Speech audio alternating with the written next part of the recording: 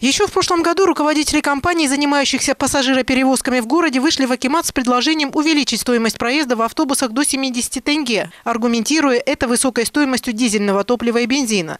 Тогда чиновники не стали повышать тариф. Однако сейчас в связи с очередным повышением стоимости ГСМ вопрос увеличения цены на проезд в городском транспорте вновь стал актуален.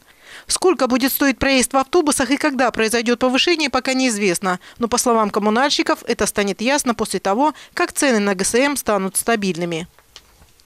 Мы будем поднимать, но тариф. Нас, тариф насколько поднимать, но для этого надо, я говорю еще раз, надо посмотреть нам, насколько остановится э, цена на солярку и на бензин. Потому что много автобусов на солярках ездить.